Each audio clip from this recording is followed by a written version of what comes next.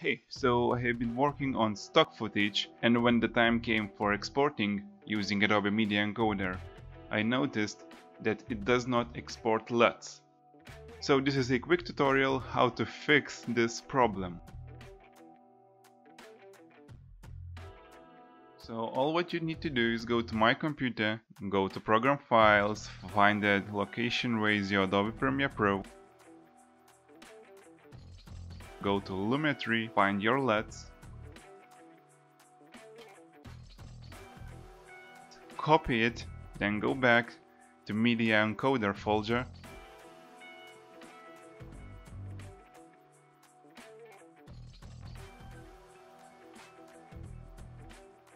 go to LUTs again, go to technical and paste. Simple as that. This is how we can fix problem when our media encoder does not export LUTs. So thank you so much for watching and as always, see you in the next video.